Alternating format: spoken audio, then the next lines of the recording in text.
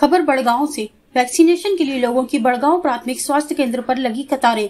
कस्बे में शनिवार सुबह वैक्सीनेशन के लिए काफ़ी संख्या में लोग प्राथमिक स्वास्थ्य केंद्र बड़गांव पहुँचे तथा पहली डोज लगवाई। बड़गांव कस्बे में कुल 400 डोज उपलब्ध हुई, जिसमें काफ़ी संख्या में लोगों ने जाकर वैक्सीनेशन करवाया। पहले लोगों में वैक्सीनेशन को लेकर अफवाहों के चलते काफ़ी डर देखने को मिलता था, लेकिन अब लोग समय पर जाकर वैक्सीनेशन लगवा रहे हैं। वैक्सीनेशन को लेकर यहाँ के ग्रामीण लोगों में भी जागरूकता देखने को मिली। जो कि कोरोना के से लड़ने के लिए बेहद ज़रूरी है। इस मौके पर प्राथमिक स्वास्थ्य केंद्र के डॉक्टर एवं स्टाफ सहित Kishore Singh head, constable police चौकी बड़गांव व कांस्टेबल भरत पंचाल सहित ग्रामीण उपस्थित थे।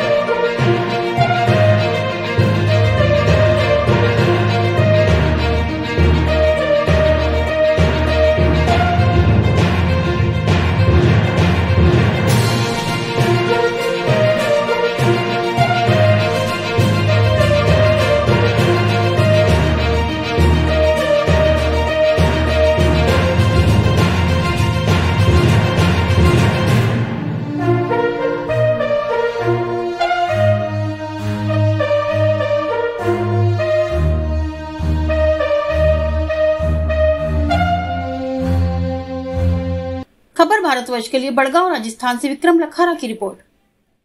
अपने शहर, अपने प्रदेश की ताज़ा खबरों के लिए लाइक करें शेयर करें सब्सक्राइब करें। और हाँ बेल आइकन दबाना ना भूलें, क्योंकि खबर हमारी फैसला जनतंत्र का।